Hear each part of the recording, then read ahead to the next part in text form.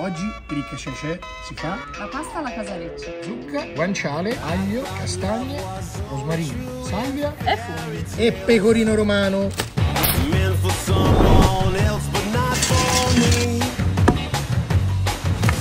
Il taglio non è importante perché tanto è alla casareccia.